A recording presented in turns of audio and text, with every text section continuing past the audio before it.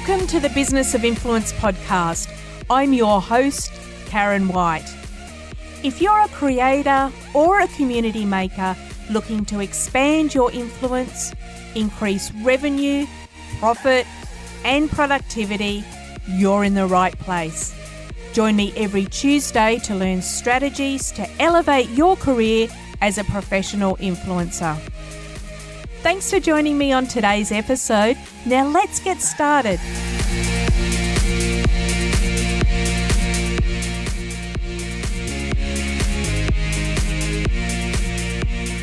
One of the questions I regularly see pop up in the influencer community is how do brands find the influencers they work with?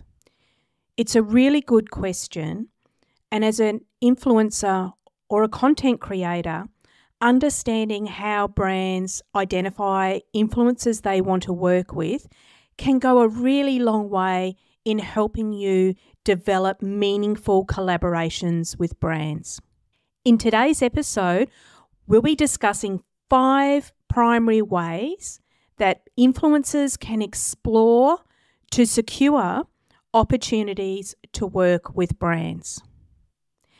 These five ways are with direct relationships, influencer agencies, talent managers and scouts, influencer marketing platforms, and networking events and referrals. It's worth noting before we begin that there are other methods that brands find the talent that they work with, such as through advertising, creative, and PR agencies. That's another primary method that brands find influencers to work with. We're not going to delve into that pathway in today's episode. And that's because working with agencies such as these creative and PR agencies means that influencers often have less autonomy and control of these relationships. So we'll take a look at those relationships in a later episode. With that said, let's get started. First of all, we're going to discuss direct relationships. A direct relationship is when brands reach out directly to you, or you might reach out directly to a brand. It's pretty much how it sounds. It's when brands find and approach you directly, or when you pitch yourself into brands. They're going to look at your work or they've seen your work, the potential for brand alignment, and the potential in a brand partnership. There are some advantages to a direct brand to influencer relationship, and they are it provides direct communication without delays and dilution of messaging through any third party agency. It's really nice. You're going straight into the brand and you're having that strong dialogue and direct conversation and communication.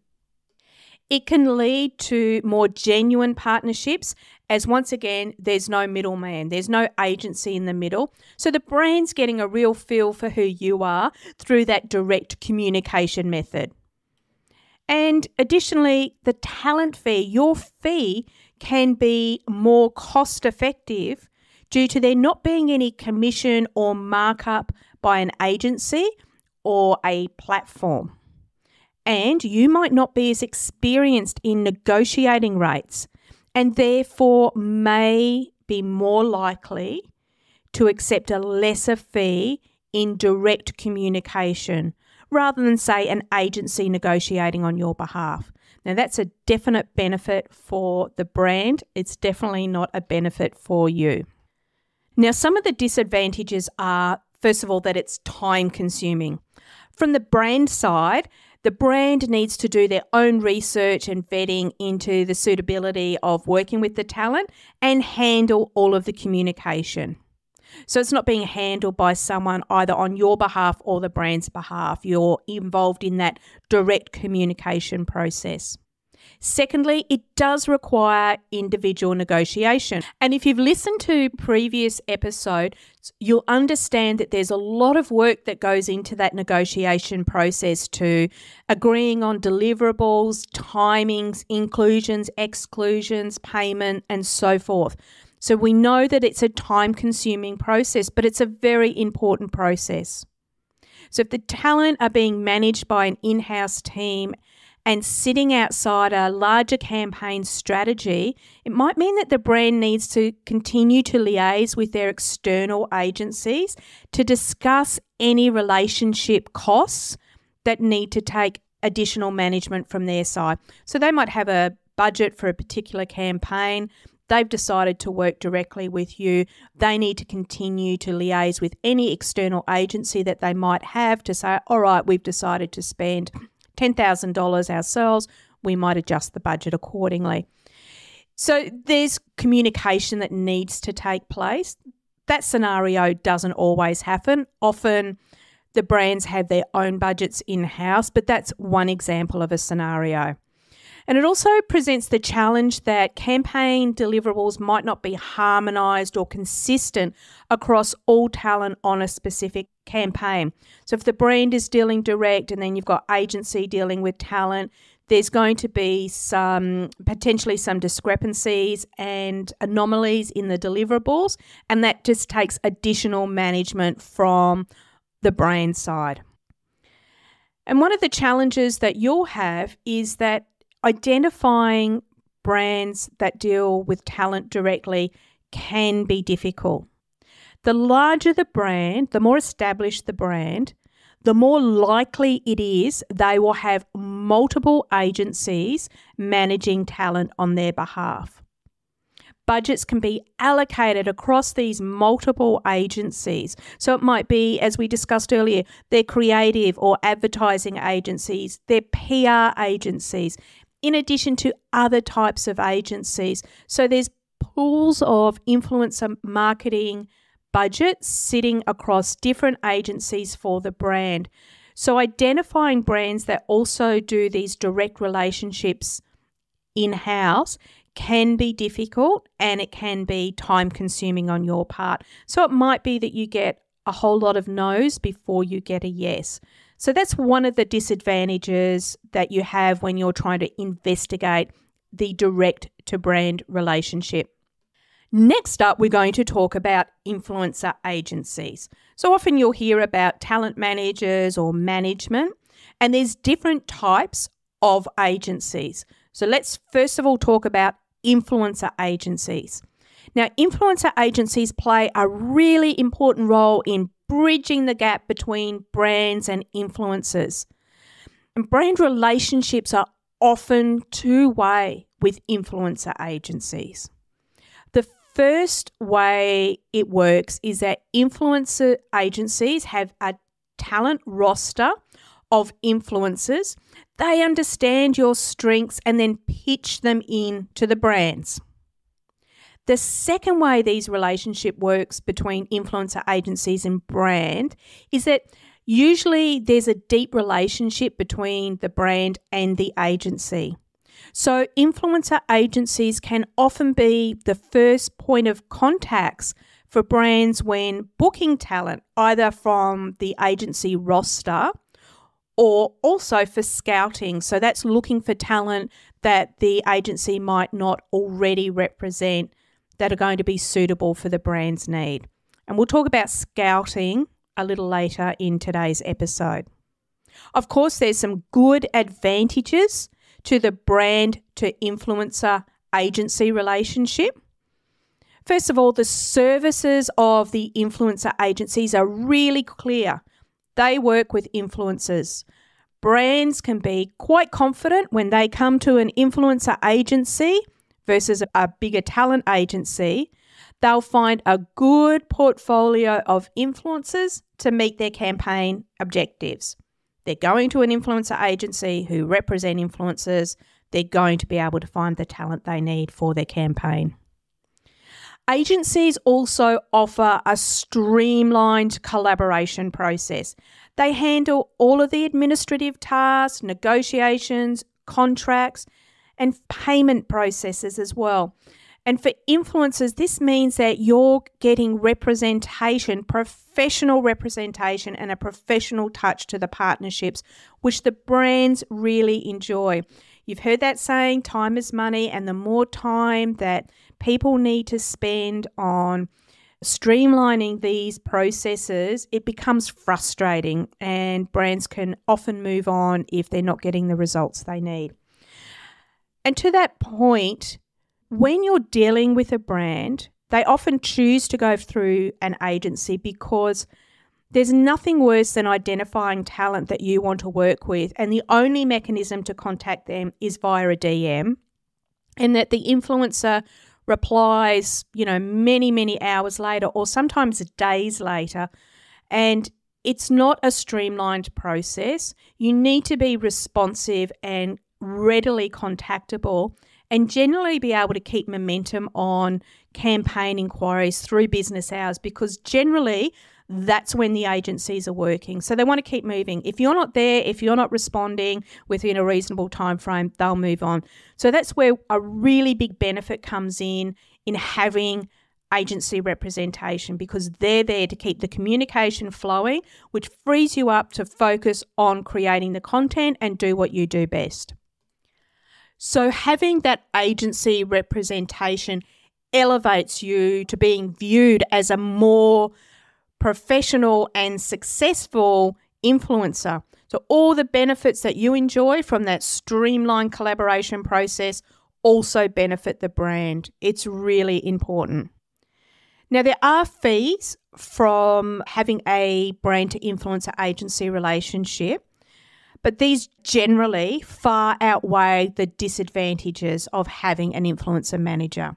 So, as long as you have a really great manager looking after your business, any fees that you might pay to that manager are easily recouped by increased income, the professionalism, and all these benefits that we've just spoken about.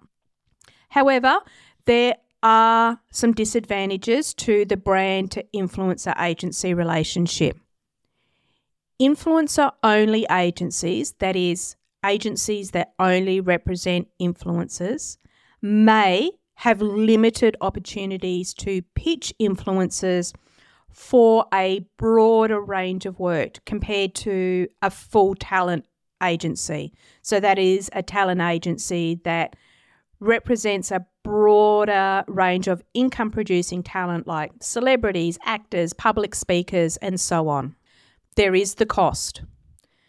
Agencies take a cut of the commission and they're going to be driven to place their talent roster into a campaign. And sometimes this means that the brand influencer fit might not be as organic leading to less authentic content. The influencer manager or the agency is trying to generate income for their agency. So they may look to encourage a brand to work with talent that's not necessarily the best fit. And then that doesn't lead to the best outcome of the campaign.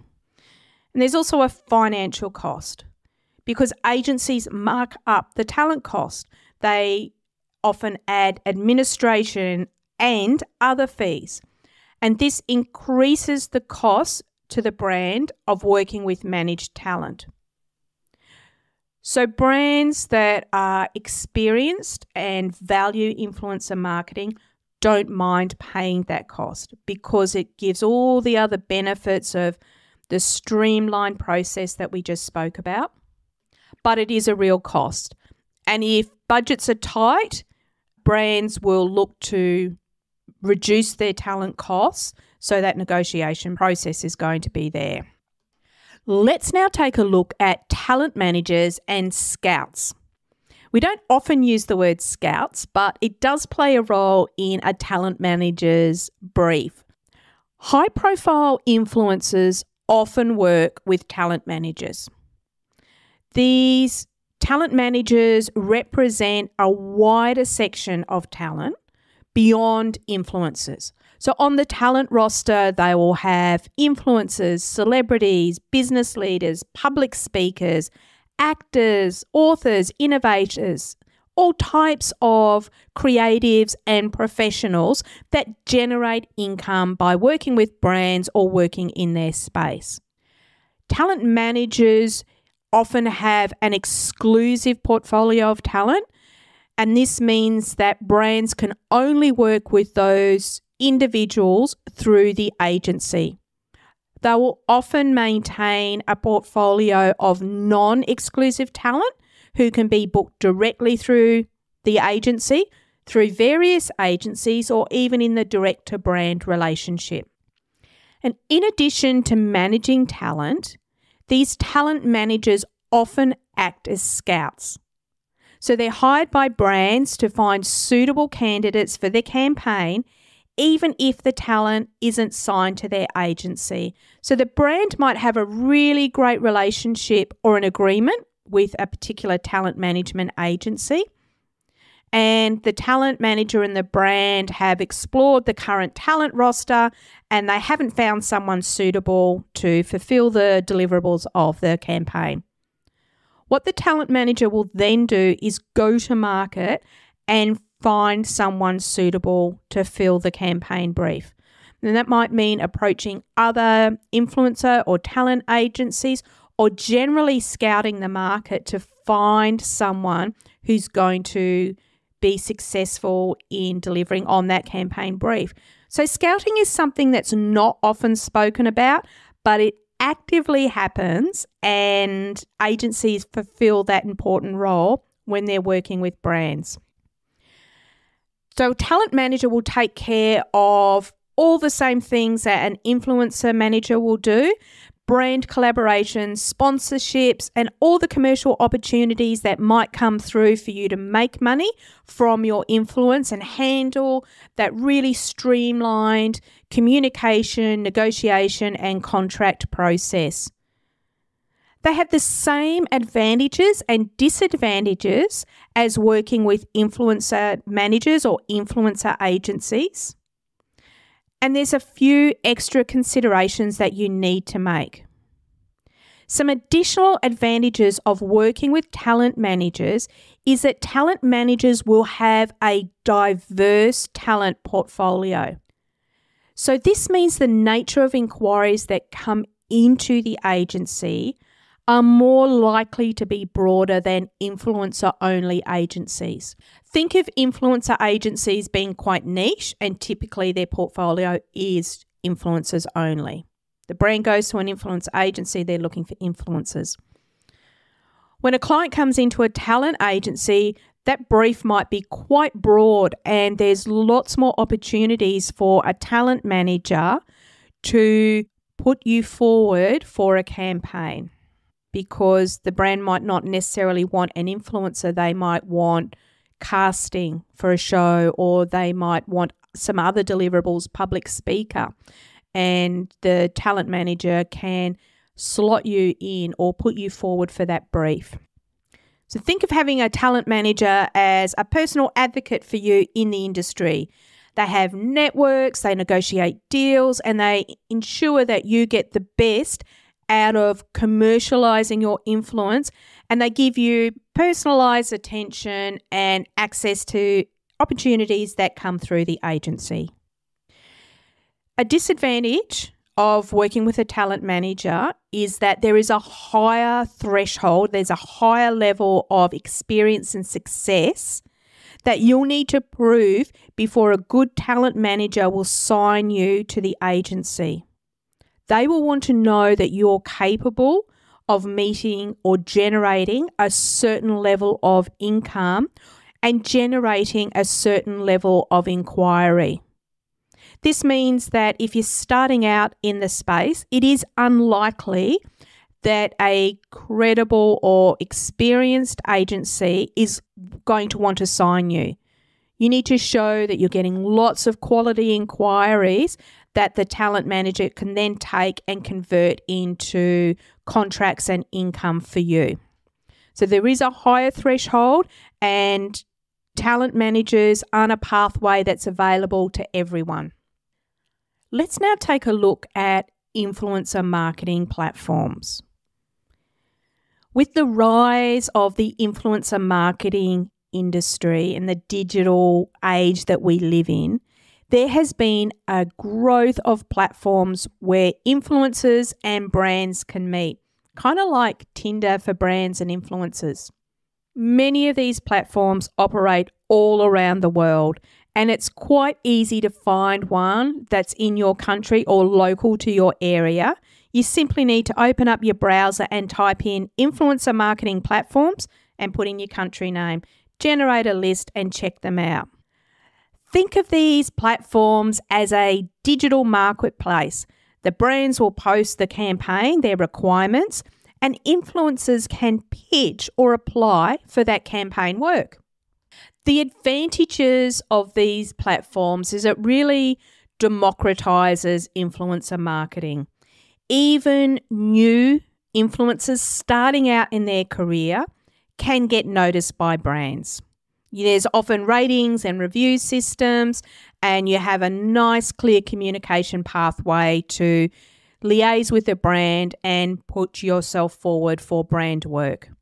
And for brands, it's easy to scale campaigns and find the right fit for their campaign based on metrics and budget. It also provides brands with access to a wide range of influencers so there's typically many, many influencers on these platforms, and it's easy for brands to go to mass market, scale up those campaigns with lots and lots of talent just by using the one platform. And for brands, now many of these platforms offer account managers if the brands are spending a certain amount of money through the platforms. So they almost act in the role of that talent manager, scout, or influencer manager as well for a higher level of spend.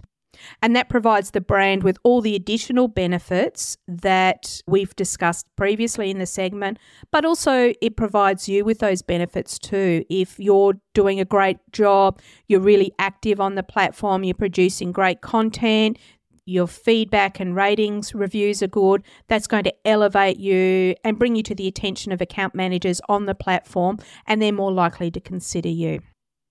However, there is a downside and some disadvantages to influencer marketing platforms. Often it's very numbers focused.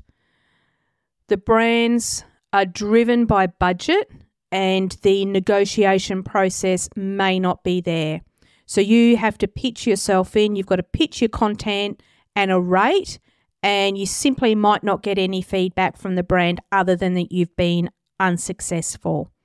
So it can be really difficult to know how to position your value through a platform because you don't have that open dialogue and communication process that enables you to negotiate on a campaign. Another disadvantage is that mid and top tier talent typically won't be found on influencer marketing platforms. These platforms tend to be more suited to nano and micro influencers who are starting out in their career and therefore more likely to offer cut price content to land the gig, which unfortunately doesn't represent value for the influencer or creator, those doing the work. They can be pretty impersonal and often too heavily weighted on budgets over quality of content and audience quality. We're now into the final pathway that we're going to discuss in today's episode, and that's networking events and referrals. Probably could have separated them, but we're going to bundle them up into this final discussion point we know that the digital and social world is huge and you know it's very powerful. It gives you access to touch a number of people through your content. But there is an undeniable value in human connection. For as much as we all spend time on platforms and in this digital space we still need that human connection and this is where events, conventions, workshops, even brand launch parties can be really great places to meet brands because brands might be scouting for talent at these events, but it's also an opportunity to put yourself forward and show the human side, the offline side of your personality to brands and agencies. So it's important that you bring these networking events into your personal marketing mix and have a goal where you can attend so many events to put yourself out there, the physical you out to meet with brands. There really are good advantages to this because, as we just said, brands often discover new talents at these influencer focused events. And for you, it's a chance to showcase your personality, your passion, and uniqueness beyond your online avatar. It's the chance for you to build relationships and you might just get noticed by a brand representative that's really impressed by your charisma or approach. Having worked with many hundreds of talent over the past 10 years, I can say with confidence that for many, their online persona does not match their offline persona. Their strength really is in the digital space. So, if you're capable of holding those engaging conversations and bringing your personality to life, I really do encourage you to look out for events and opportunities to mingle in the influencer space. You just never know what might come of that. Of course, like all things, there are disadvantages to networking events. Brands might not be receptive to pitches during all events. Sometimes individuals can be quite overwhelmed, if not approached tactfully, by talent. There's nothing worse than being at an event and you're just bombarded with people wanting to tell you all about themselves if the time and place is not appropriate. The whole work with me proposals can be really quite fatiguing from a, a, a brand or talent manager's point of view if you've just had to deal with them all night and you're there to achieve other outcomes. So consider the environment, consider approaching someone tactfully, or if the time isn't right, just make a note to get in touch at a later time. You can say, Hey, I saw you at this event. I can see that you're really busy and we missed the opportunity to connect, but I'd really like to be able to do that now and just sort of go into a soft pitch or whatever it is. So you need to be tactful. If you approach someone at an event and the time's not right, the time's not right. Another disadvantage is that connections might not mature post event. And that's often for the reason that we've just discussed is that someone might have just been completely overwhelmed by so many people approaching them that names and faces and social media handles have become mixed up or deprioritized. So it can potentially lead to misplaced expectations or mismatched collaboration opportunities. You might have thought, wow, I had that really good exchange with Karen last night. She was really smiley and spent time talking to me. I think something's going to happen with that. But Karen's moved on. You know, she's gone into her day job and, and she's just moved on. So those relationships don't always mature post event. So you need to be working through a strong communication strategy and brand approach strategy to make sure you have good ways to mature these connections after an event. The final thing that I wanted to speak about is the referral piece. We have mentioned this in previous episodes. If you haven't listened to those episodes, I'll just recap and say that the agency space is pretty small. Your reputation is everything. Running a campaign smoothly and professionally and with commitment to successful outcomes is really important. If you leave a brand or an agency with a poor experience in working with you, they're not going to forget that. And they're probably going to talk to their colleagues inside that agency and other agencies. And you could potentially damage your reputation or even worse, become blacklisted. There's a lot of talent out there, and no one can afford to be unprofessional when they're working on a campaign. Everyone needs to be positioned to genuine success for that outcome, and that's going to lead to great outcomes for all. So, if you've done something to potentially damage your reputation, recovering from that setback can be challenging and time consuming. Brands just don't want results. They highly value professionalism, clear communication, and a smooth collaboration experience. So, failing to deliver on this can really jeopardize your future opportunities. So, think about that the next time you're approaching a campaign. You need to be invested in that relationship. Now, let's wrap up our learning from today's episode. Brands often execute several campaigns annually, or they have campaigns running consistently throughout the calendar year. Each campaign will have its own set of objectives, and given the distinct goals that each campaign will have, the approach to identifying the influencers that they want to work with is going to vary depending on the goals and outcomes of that campaign. This means that brands will use a mix of different strategies to make sure that they've got the most suitable influencer fit for each campaign. By being versatile and engaged on multiple platforms with agencies, influencers, and talent managers, this means that you can remain top of mind for brands and maximize your potential for partnerships and broadening your influence. Coming up in episode 9 and 10, we'll take a deeper look at talent agencies versus self representation. And we've also got a guest episode with a prominent talent agent coming up. This can help you make more informed decisions about these different pathways that are available to you when working with brands. And then in another episode down the track, we'll speak more about how you can work to develop your profile with PR, creative, and advertising agencies as well. So we've got all of those pathways considered for you, and you can sit down and bring them into your business plan. That's probably the first time you might have heard that, but you should have a business plan with strategies in play.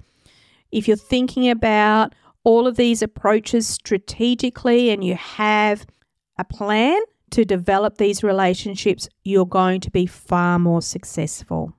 So that discussion's coming up in episodes 9 and 10. In our next episode, though, episode 8, we're going to be taking a look at the rise of the micro influencers. So if you've heard today's episode and thought, oh, I'm not, you know, I'm not ready for a, a talent agent yet or an influencer agent yet, don't worry. In our next episode, you're going to discover why brands are increasingly leaning towards working with micro influencers and how these niche content creators are making a big splash. Will the rise of micro influencers be the future of influencer marketing? We'll find out. All of this and more on next week's episode. I do hope you'll join me. You can download the resources from today's episode at thebusinessofinfluence.com forward slash EP7. I look forward to joining you next time. Until then, stay creative.